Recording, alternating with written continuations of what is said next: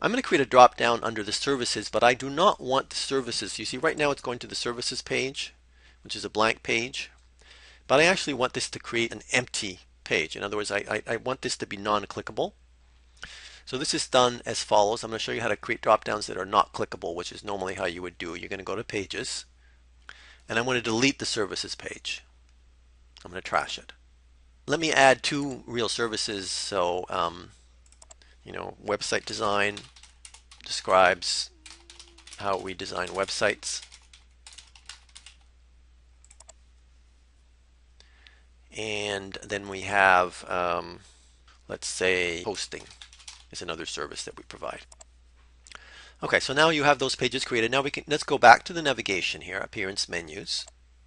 Okay, and you have to do what's called a custom link that goes nowhere. Our goal really is to create a top level navigation that goes nowhere. So this is not an actual page, but we're going to call it services.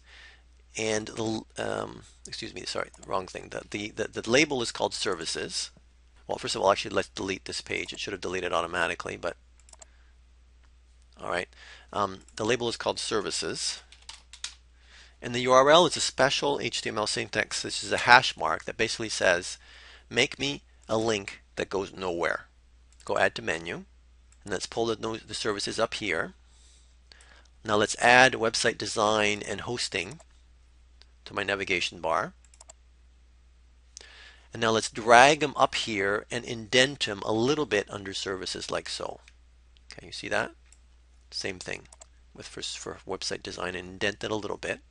And I'm waiting for it to drop in place, and then we're going to save that menu. Okay, you getting this?